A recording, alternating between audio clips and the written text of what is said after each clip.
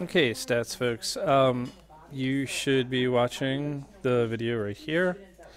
Uh, once you've done that, uh, our goal for today is that you'll be able to calculate percentiles and quartiles using formulas in order to discuss the relative positions of data points within a data set. Um, in case you did not do it for homework, the video on percentiles and quartiles is again here for your use. The notes that supports that is here.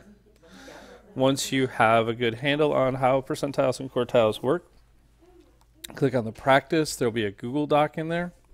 You're asked to respond to that Google Doc and then submit your response. This will count as a formative assessment for completion for the day. And then uh, watch the summary video here, and we'll kind of go from there. All right. So watch the videos on percentiles and quartiles, do the practice, and then watch the summary video.